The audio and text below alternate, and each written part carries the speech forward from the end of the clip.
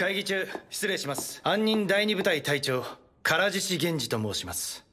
伊賀による甲賀当主美濃部鬼神丸殺害の決定的証拠を発見いたしましたこと。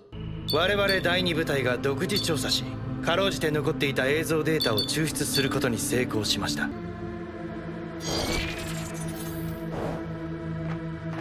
この監視カメラには現場の音声も記録されており解析したところ伊賀の輪郭が出す音の周波数と波長が99.7%一致しました。対忍者犯罪の最新技術をもってして導き出した結論です。証拠として十分と考えますがいかがでしょう？第一部隊隊長。ただ潔白を証明すれば良いだけです。時貞守るべきものを思い出しなさい。これにて忍者大会議を終了します